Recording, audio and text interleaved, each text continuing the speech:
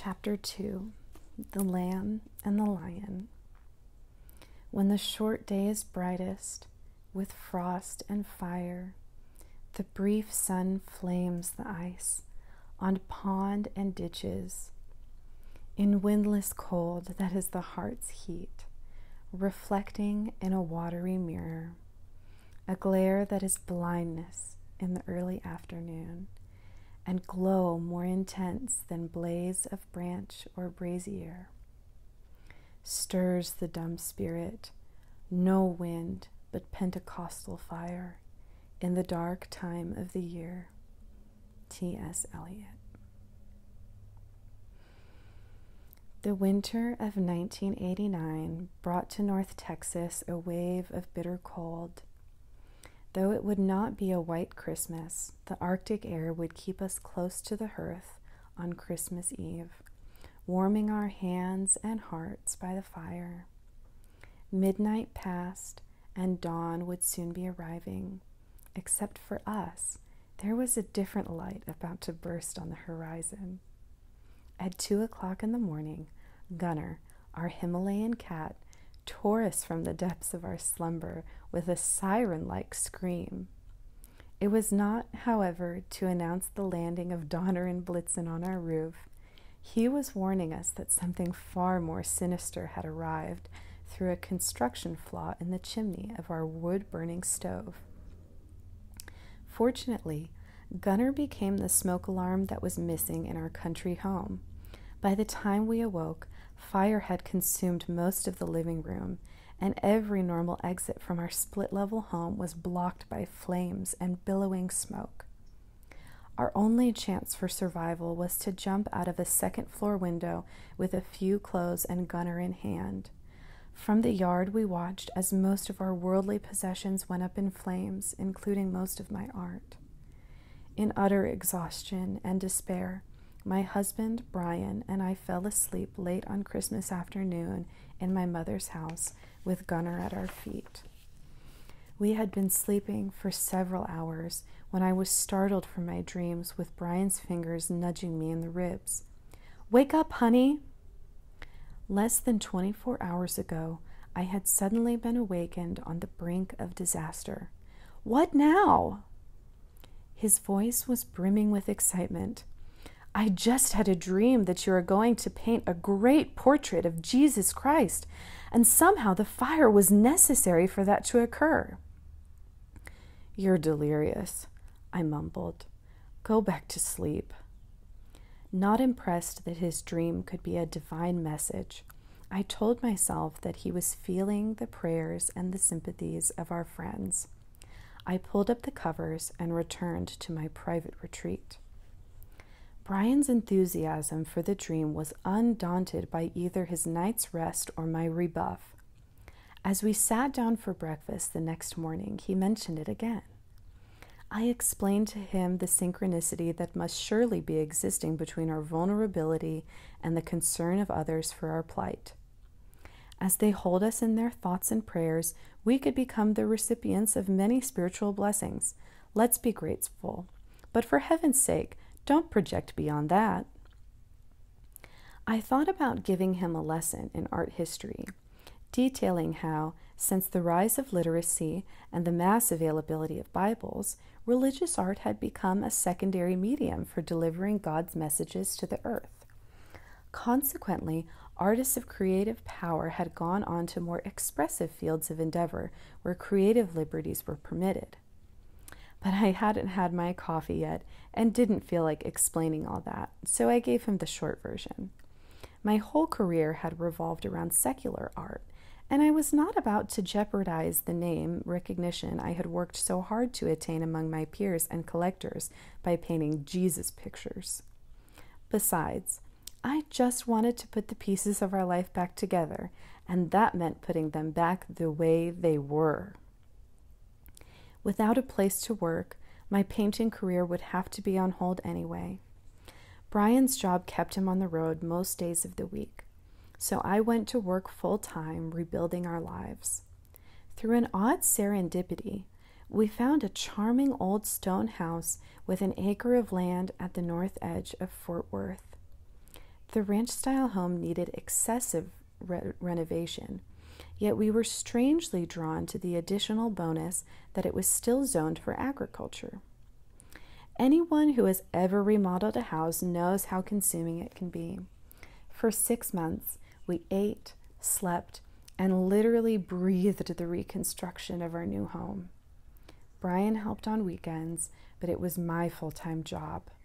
Actually, it was good therapy, putting back what had been destroyed. And by the time the house was finished, I felt somewhat restored myself and ready to paint again. Yet something had changed in my heart. Perhaps the magnitude of our recent loss had generated a sense of practical anxiety in me. For the first time in my life as an artist, I didn't just set up my easel and paint from the depths of my inner vision. Instead, I studied the market, analyzing patterns of supply, demand, and success. Although my new work lacked the power of the lost masterpieces, it did have a lovely appeal, technical strength, and an excellent chance of competing successfully in the marketplace.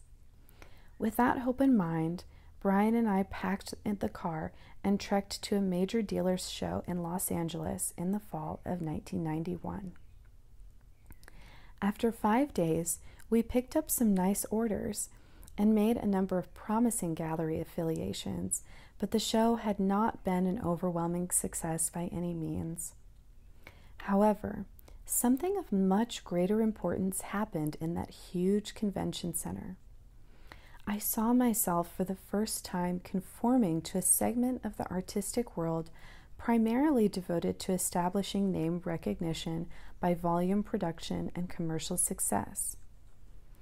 Many an artist would have danced with glee to have the level of success which I had achieved by other standards. After all, I had produced portraits for many prominent Americans, including the President pro tempore of the U.S. Senate. My portrait of Dr. Paul Peck was hanging in the Smithsonian Institution, while another of my paintings was hanging in the Museum of the City of New York. I had a New York publisher, and many of my paintings were in prominent collections around the country. Altogether, my resume reflected talent, success, and real acceptance by the keepers of excellence within the art community. So, what was this nagging recrim- recrimination I had about also establishing a measure of commercial viability? The flavor of external pursuit was leaving a bitter aftertaste. With a sense of surrender, I resolved to use the rest of my traveling time for personal renewal. If possible, I would locate a still point of peace within myself where true motives could be examined and reestablished. On a whim, we detoured from the interstate in Arizona traveling to Sedona and the beautiful Red Rock country south of Flagstaff. Though there was no obvious event, something happened amidst those ancient sandstone spires because the next morning I felt revitalized and confident to handle whatever was to come. There was a sense that things would be different. Just how different was still to be revealed. Homeward bound, it seemed as if we flew through New Mexico. As I was listening to the music of Mozart and allowed its beauty to give my soul wings, it was easy to review my life and highlight the things I considered most important. Eventually, a silence flooded me, and nothing seemed to be of value except the need to arrive at a new beginning. Without consideration of its impact, I turned to Brian and said, If I dropped my career, would you mind? No, he said. You do whatever you need to do. What were 30 plus years of hard work after all? There was an inner confidence that something else would come along. If I had known what it was to be, I might have been less relaxed about the whole matter. As we drove across the high mesa, my sense of relief matched the expansive horizon. In that desert quietness, There was a peaceful reverie which brought to mind impressions of incredible beauty. Though I am accustomed to receiving and playing with visual images, these stood out as extraordinary. Just as I relaxed into my inner sanctuary, Brian asked for the first time in several months, Have you thought about that painting of Jesus lately? I started to bristle at his intrusion. Of all things to talk about, why did he mention that subject again? He had brought it up at regular intervals since his dream, and I had never responded in any way to make him think that my original position had changed even a smidgen. With my eyes still closed, I tried to suggest that I was half asleep by mumbling, No more than you'll let me forget. With gentle persistence, he encouraged me to consider all possibilities now that I stood on the threshold of a new opportunity. Immediately, a beautiful landscape emerged on my mental screen fields leading down to a lush green river valley, and on its banks, a tree with a split trunk under an azure sky with billowing clouds. This was quite unusual as my self generating imaginings rarely took the form of landscapes. Its beauty resonated profoundly through my whole being. Brian must have sensed what I was experiencing, for right at that moment he asked, What are you thinking about? I'm not thinking about anything. I'm looking at a beautiful landscape in my mind's eye. Oh. A minute or so passed then. If you were to paint Jesus, he said sweetly, how would you do it? That's a pointless question because I'm not going to take on the project for all the following reasons. My hope was that if I itemized every objection, then at least the whole proposition could be dismissed. I had a master's degree in art history from Tulane University, and my area of specialization was medieval European art, which, by and large, is Christian. So I was well equipped to explain that the history of Christian art had derived its formulas from theology. It had its own symbolic language, which served as a teaching tool and a theological reinforcement. This had been necessary because historical facts were scanty and creative inspiration too often exceeded the boundaries of church doctrine. A case in point occurred when Michelangelo almost lost his life by taking liberties with the ceiling of the Sistine Chapel. The Pope was a man of theological protocol, and the artist was a man whose vision into eternal realms was untouched by formula. I knew of no historical descriptions of Jesus, and certainly there were none in the New Testament. For a portraitist, that alone was enough to stop the project in its tracks. Moreover, I knew enough about the art of portrayal from my years as a portraitist to respect the intimate relationship between body and soul. In other words, no other man could pose for Jesus and project the right feelings into a painting. Now, if those objections were not enough, I was adamant that I would not invent a portrayal of the Master. In the world of imagination, I felt that everyone had an equal right to see him in his own way. Therefore, I was certainly not going to impose my private preferences upon the consciousness of others. With a sense of finality, I presented my closing consideration in hopes of barring the door to any further discussion. I'll tell you what, if he shows up for a sitting, I'll paint him. Brian diplomatically backed off for a moment, but he wasn't finished. All too soon he asked, If you were going to paint him, what would you call the painting? Too exasperated to protest any more, I started to say, I don't know. When the strangest thing happened. A visual arrow shot through my mind with a trailing banner on which appeared the words, The Lamb and the Lion momentarily stunned. I couldn't think or edit my perceptions, so I just repeated the words aloud in a distant voice. Brian said something, but I didn't hear him. I was too absorbed in the realization that I would, indeed, be doing the painting that his dream had foretold. But how?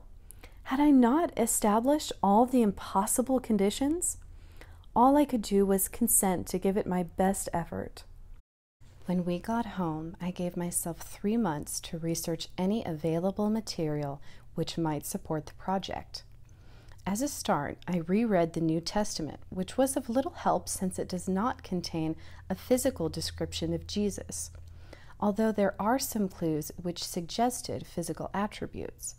For example, that he was born into the house of David, that he was a carpenter and a fisherman, and that he was physically strong enough to carry a massive cross after enduring brutal torture.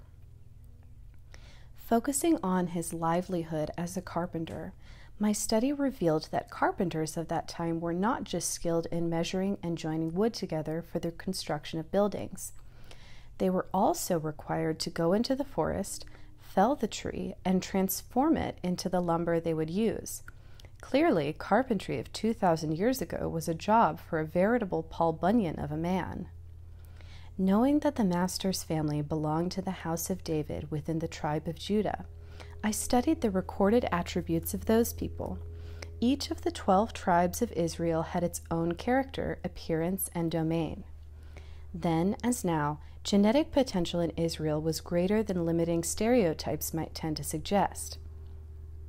Ten of the twelve tribes had disappeared when the Babylonians scattered the Jewish people in the diaspora, the lost tribes of Israel that we often read about. Only the lines of David and Benjamin, the Levites, and remnants of other tribes returned home.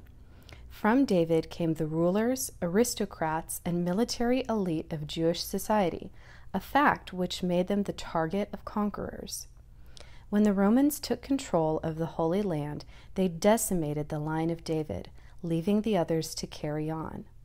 Centuries later, as medieval Europeans returned from pilgrimages to the Holy Land, they would bring home descriptions of that limited sample of Jewish potential, commingled with memories of Arab and other Middle East people costumed in typical desert attire.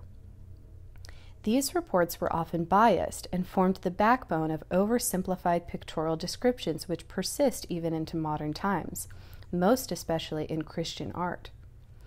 Within the few surviving descriptions of ancient Jews, there can be found references to the tribe of Judah as often being taller and the fairest of the fair.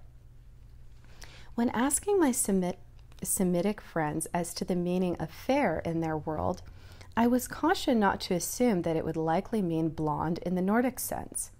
However, it could include light olive to fair skin with hair ranging from light golden brown to red brown and eyes from hazel to blue green. Although he might have appeared in different ways to different people, the charisma which drew strangers and crowds to him tends to suggest that he was exceptionally appealing by some measure, at least when he chose to be. What form that might have taken, I could only guess, and guessing is something that a true portraitist is loath to do. The earliest paintings of him from the first and second centuries show a handsome youth, but those portrayals reflected the influence of Roman fascination with Apollo rather than any true likeness of the Nazarene.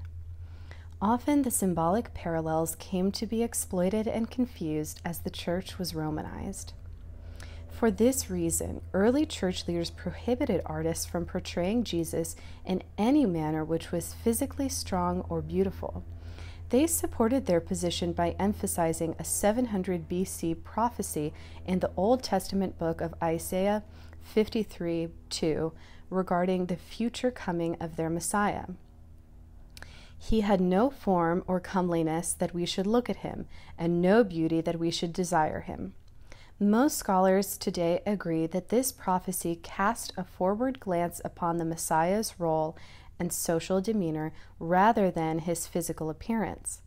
In other words, the coming Messiah would not be a worldly prince, rich and well arrayed, from whom one would seek political favors, privilege, and financial advantage. In every way, that interpretation was true. But would it not be odd if the Lord of life, who could raise the dead, were himself anything less than a picture of health and physical well being? To me, that logic is inescapable, but to church authority concerned only with establishing his spiritual supremacy, that passage from Isaiah was useful in diminishing any focus on his physical form. Most portrayals of him in the last 1700 years are a legacy from that decision. The power of tradition was ominous, and the more I knew, the less capable I felt. All the conditions that I stipulated were based on points of integrity about which I felt strongly. Therefore, it was an impossible scenario. How could I ever do this painting? The many tidbits were interesting, but if I just pieced them together, I would have a quilt, not a whole image with character and strength. After three months, every road I traveled led me to a dead end, and the contradictions before me were more than I could deal with intellectually. Now, what was I to do with what I had learned?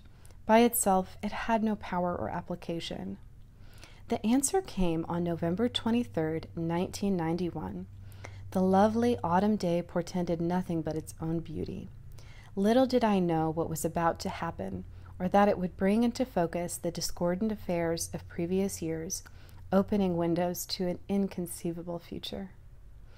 Clear morning light spread its fingers across the lawn, brightening everything in its path as it brought into focus a few bright red leaves still clinging to the trees of our large city lot. Such times are made for dwelling in thought when everything external is in perfect order. I would be alone all day, so there would be nothing to interrupt my peace of mind. As steam from the coffee warmed my face, the hammock rocked slowly, stirring the cool November air. Sorting through memories, I rather enjoyed the panoramic flashbacks of personal history. The recurring pattern was clearly one of new beginnings, yet with unmistakable irony, the most critical event was the one of uncommon destruction on Christmas 1989. If I had understood paradox then as well as I do now, perhaps I would have looked for prophecy in the reversals which had driven my life since that time. However, as I reviewed my thoughts in that clear November light, the only peace I found was in the hammock's rhythmic swing. It seemed to be gently suggesting surrender, surrender, surrender. Despite my pleasant reveries, the awesome glow of nature was distracting me from the inner simplicity I needed. Besides, it was time for lunch. After a quick sandwich, I decided to linger in the dining room for meditation and prayer.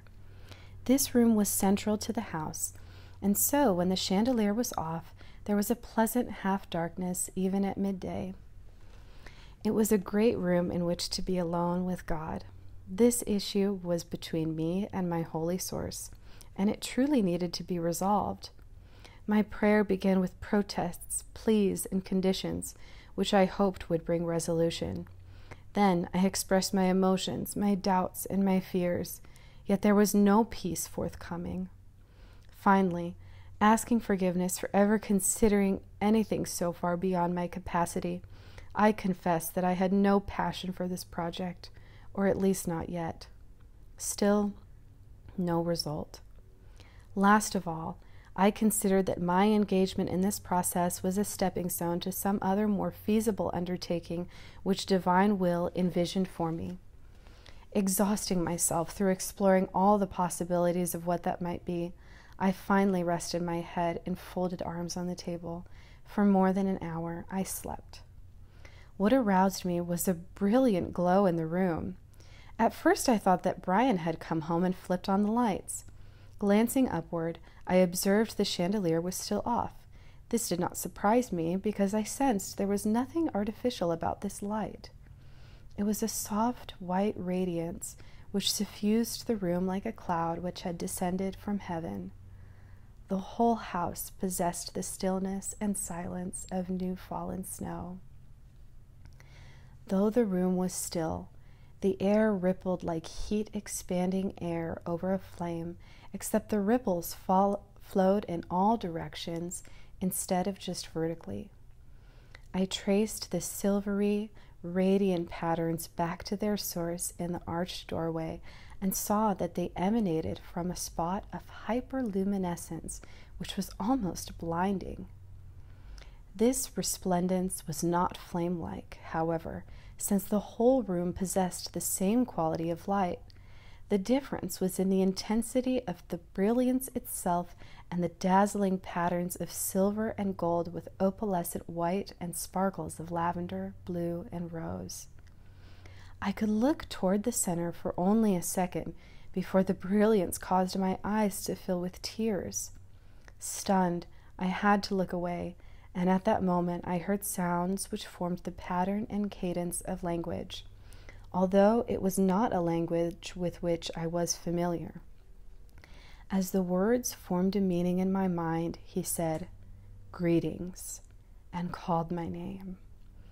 There was an unmistakable holiness in this presence. I turned to look again, but the radiance was just too intense. Closing my eyes, I protected from the glow and wept at the same time. No sooner had I escaped within myself than the presence shot a beam of energy from itself to a point between my eyebrows. I felt a sensation of pressure between my eyebrows, which caused me to open my eyes and verify. What I saw was a stream of energy pouring in. Returning to the comfort of my inner vision, I watched as a picture was being etched into my awareness. It took about five seconds for the rendering to be completed. The vision seemed to be implanted in my optic nerve. It was stationary and available for me to look at whenever I chose. Mesmerized by its beauty, I directed my attention inward for another 15 or 20 minutes to gaze upon the vision of Jesus Christ, which was complete, three dimensional, and holographic. He was majestically standing on top of a hill overlooking a green river valley. Unmistakably, it was the same landscape I had seen while driving through the New Mexico desert. Now it was complete with the master, grazing sheep and a billowing cloud forming the shape of a lion.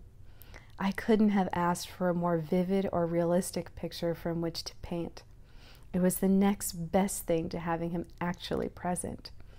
When my awareness finally externalized, I found that the radiant presence had gone and everything was back to normal. Nevertheless, I knew that I would never be the same again. That intuition proved to be true for everything in my life changed after that holy moment. For three days following the visitation, I spoke very little, not wanting to risk the loss of holiness which still lingered. I was afraid my voice would reflect my state of continuing awe. Then I would have to speak about that exceptional event. On the fourth day at breakfast, Brian caught my glance, and I couldn't hold back any longer. I described it in all vivid detail as he looked at me with peaceful amazement. Graciously holding back the I told you so, which must have been on his mind, he offered to help me with the project in any way he could. Overcoming my insecurity was the help that I needed the most. That felt like an overwhelming task for anyone. As I described the vision in detail, mentioning the sheep in the pasture and the lamb which Jesus was holding, I saw a burst of inspiration in Brian's eyes. I know what I'll do.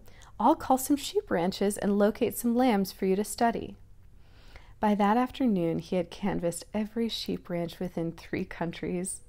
We were disappointed to find that late November was an unlikely season for lambs. Undaunted, Brian suggested a Saturday visit to my hometown farmer's market. Starting at the crack of dawn, with camera in hand, we were off to hunt for lambs. At least if I could hold a lamb and get a souvenir photo, then some progress would have been made. On arriving, we made a quick dash to the livestock area, only to meet with disappointment. There had been two lambs which had already sold by 8:30 that morning. Feeling out of luck and unsupported by heaven, I was ready to go home, but Brian was not. Let's go up this lane, he suggested. In a distant corner, we found a grizzled old dealer from South Texas which is with a scraggly flock of different breeds. It was an unimpressive assortment of dirty, lumpy, wool bearing creatures. I started to turn away when, suddenly, One sparkling white ewe emerged from behind the flock and made her way over to me. I had never seen anything like her short, pristine wool long neck and regal face. Her stately appearance was only enhanced by her obvious pregnancy. All I could think to call her was Mary from the nursery rhyme, for her fleece was white as snow. We bonded within minutes, and I wanted to take her home. Realizing there would soon be a lamb, it occurred to me that purchasing Mary would make them both available for study. The greater coincidence was that our restored farmhouse was zoned for agriculture, even though it was nestled within the city. There we were, two rookie city shepherds look, loading Mary into the back seat of our Cadillac. She still sparkled, even outside her natural environment, which prompted me to ask the dealer about her breed. She's a mouflon, he answered as I handed him my check. That meant nothing to me, and so without further conversation, we drove away. We felt a little sheepish as people gawked and laughed at our backseat passenger. But what did they know? To distract ourselves from the embarrassment, we cooed to Mary and made plans for her housing. Then Brian inquired, What's a mouflon? Neither of us knew, but we were suddenly frozen with anxiety that maybe we had just purchased one of those new hybrids which were not yet on earth when Jesus walked it. I had visited my uncle's sheep ranch many times as a girl, and I had never seen anything like her. The more I thought about it, the more it became an issue, for any modern element would surely compromise the painting's integrity. After Mary was settled in her quarters, I headed off to the library to get my question answered. I found what I was looking for very quickly as I opened the pages of an encyclopedia. In amazement and disbelief, I looked for confirmation from two other sources. The Mouflon was recognized as the oldest domesticated breed of sheep in Europe and is considered to be the ancestor of all domesticated varieties. Moreover, it was commonly herded in the Middle East 2,000 years ago. I reread those passages until they were committed to memory, and with private elation, I pondered the miracle of how many parts of the puzzle had to have already been in place for such an amazing act of perfection to occur. Short of traveling to the Middle East and bartering with a Bedouin, I could not have obtained a more suitable sheep to model for the painting. The odds of finding Mary in my hometown were staggering to the imagination. As a child, I had played on the very ground where I found Mary. How long ago, I wondered, was this painting committed to destiny? With all our plans for the holidays, we agreed that it would be better to start the painting early in January. Besides, this would give me time to make some preparatory decisions and get the canvas ready. The first thing I needed to establish was the scale, so I cast my attention on the vision and asked for guidance from Jesus. This was the first time it ever occurred to me to regard the vision as a means through which to dialogue. The answer was clearly given to me in a telepathic mode, though no words were spoken. The canvas was to be 48 inches square. That was a restless December. I felt like a racehorse waiting for the gate to open. Reassuring myself frequently with inward glances, the vision remained crystal clear and seemed to intimate that a whole new world was being born. It was clearly living, and I beheld it in wonder. Even more incredibly, as I looked upon the vision over the next few days and weeks, details began to take shape. It was growing by collecting its life force and then manifesting all that it was this vision became more and more alive. The energy pulled to itself so much of his life force that what started out as only a visual phenomenon gave witness to a feeling that he was there. Miraculously, he found ways to make me comfortable during those weeks before I began the painting, although I can't say that I ever got used to it. Finally, there I was in my studio on January 2nd, a Friday, beholding the emptiness of that large blank canvas. I could not stop smiling as I picked up my pencil and began to transcribe his presence onto the pure white surface. The only thing which troubled me at all was the awkwardness of looking inward to see him and then looking outwardly to transcribe the vision. No sooner had I considered that to be a difficulty than the most startling thing happened.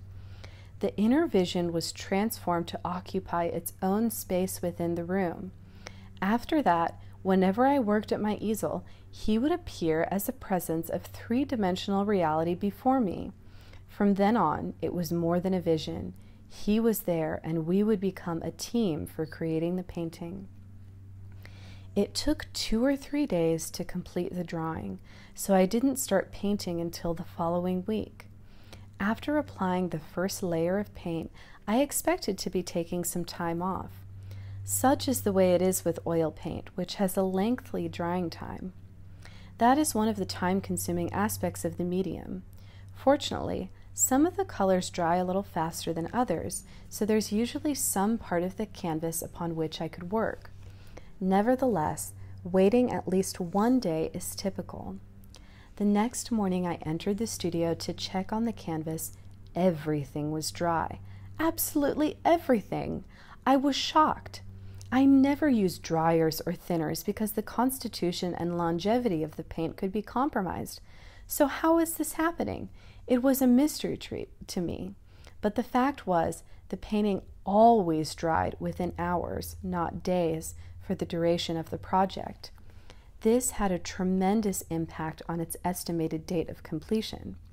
Working together with the Son of God had a lot of advantages. For one thing, the relationship occurred in a synchronous realm which might be called the miracle zone. My greatest difficulty was in getting used to it. Accepting the idea that there were not going to be problems was a greater adjustment than one might think. In this world, we have to come to regard problems as normal. The timing of everything was flawless, and all of my needs were provided. Except for Sundays, the painting unfolded without interruption until February 6th. I had gone as far as possible without the lamb and expected to get some time off. That new agenda, however, was shot down precisely at four o'clock the next morning. Brian got up in the middle of the night to get a glass of milk and check on Mary. When he cast his flashlight back toward the barn, instead of seeing one pair of eyes, he saw two. He woke me up, and we ran out to catch our first glimpse of the baby, wobbly and wet. He's so precious, I said, and that became his name. I did get some time off, though, because Precious was so tiny and vulnerable. At first, he would just fall asleep in our arms, so we celebrated his birth and played with him for the first two days. He posed for the painting when he was three days old. An element typical to most creative projects is something artists call jungle time. That's the process of getting lost in all the options and problems in order to find the answers through instinct, ingenuity, and creative resourcefulness. Jungle time is part of the allure of any creative pursuit because in it the artist explores his uniqueness and emerges from it with a signatory resolution. For the first time in my life, that process had no attraction or, irre- relevance for me. I was content to proceed with neither problems nor expectation. Despite that surrender, however, there was no feeling of being an illustrator because a higher form of creation was constantly surprising me with its own dynamic unfolding. Nevertheless, I began to wonder if there might be some small, appropriate contribution I could make to proclaim, if only to myself, that I was here. As I surveyed the whole composition, it occurred to me that it contained no symbolic recognition of the Trinity or at least I did not see it at the time. I had just painted the little boat that floats on the river, and with a flash of ingenuity, I got the idea of adding two more boats to create a flotilla of three. They would be so tiny as to be hardly noticeable, except that I would know. I promptly went to work on the miniature fleet with poised confidence that it would be suitably respectful and discreet. The first boat was a simple construction hardly more than six or seven brushstrokes. However, the other two just would not manifest. No matter where I placed them, they could not integrate with the vision or fit into the landscape. After spending the bulk of a day stressing over two stick figure boats, I finally realized the only difficulty I had encountered with the painting was of my own doing. With peaceful resignation and deeper understanding, I turned to Jesus and remarked, I guess there's just one boat. He grinned and replied, I guess there is. There was only one other occasion when I interjected my own will into the process. That was prompted by a sense of doubt about the vision, or perhaps by a subtle premonition of things to come. There's an oak tree to the left of center in the painting. In the vision, its trunk was split, and I questioned Jesus about that. The oak tree is often a symbol of strength, I pointed out. Are you sure you want it split? He looked at me, accepting my reasoning, but not agreeing with it. With quiet authority, he turned the question back to me. How is it in the vision? Well, it's split, I replied. Then that's the way it must be. It would be some months before I could know and appreciate the full implication of his answer. Work proceeded without a hitch after that. However, there was a startling revelation about two weeks before its completion. When I got up to leave the room for my afternoon coffee break, I looked back to check on my work as I always did. This time it looked back, as if to check on me. With holographic projection, the whole painting turned to face me. I stopped short in my tracks and gasped, then ran back to the other side of the painting. It continued to face me from every angle. Three dimensional rendition is a standard of excellence in the art of realistic painting. However, there is a difference between holographic projection and three dimensional illusion. Old master paintings are renowned for their convincing illusions projecting in all directions. In such portraits, eyes may often follow the viewer. That doesn't mean, however, that the illusions will leap in front of the canvas with full compositions projecting absently. In holographic projection, complex forms will realign and reproject according to the changing angles of perception it was quite phenomenal to see this happening in the painting. It is my standard procedure to paint in privacy, showing the works only when they are finished. Brian knew that and was respectful of my wishes. At that moment, therefore, I did not share my discovery with him. Only our cat Gunner had seen the painting in progress. There was no way of keeping Gunner out of my studio, for that was his bedroom. I presumed he could see Jesus, for he sat perched on my drawing board facing the vision, staring hours upon end every day. Jesus had spoken to him several times and petted him once. That evening he watched in quiet amazement, wondering what all the commotion was about. From that day forward, the painting took on a life of its own. Its integrity was complete unto itself and true to the vision. Without embellishment, I followed the inspiration before me and found it a joy to surrender to higher creation. The painting has remained holographic, and today viewers find the variable projections of imagery and expression to be an empowering enhancement to their communion with the painting. Even the best of things must eventually end, and in the case of this project, I was certainly glad that I was not the one to decide when that would be. From the beginning, I had recognized that the vision had such power, I could see myself 20 years hence still trying to perfect it. Therefore, I was actually relieved when heaven decided to wrap it up. That was March 12th, 1992. On that day, there was so little left to do that I was down to polishing particulars. There were a few strokes I wanted to add to Jesus' hair. It was blowing in the wind, and I wanted to separate the strands to show a lightness of air passing through it. One after another, I put these final touches in place. When I looked up, I was startled to see the vision dissolving into a cloud of sparkling light. Almost in panic, I looked inward to the point where it had been joined to my consciousness, but the cord had been severed. Settling my brush down, I smiled, then smiled bigger unable to suppress the joy I felt. As I beheld the vision departing, I also witnessed a beginning. For as the visual image faded, the love and energy of his essence settled in upon the canvas. The painting was finished, but its life had only begun. Many who have seen the painting feel a living presence within it. The lamb and the lion is more than just linen and paint. It is now a conduit for the life force of the original version, and those who view the painting may continue to enjoy it as an extension of the Master's power and love. After Jesus left, I visited with him many times through the painting. Most especially, I wanted to know what next? What am I to do with this artifact you have left in my custody?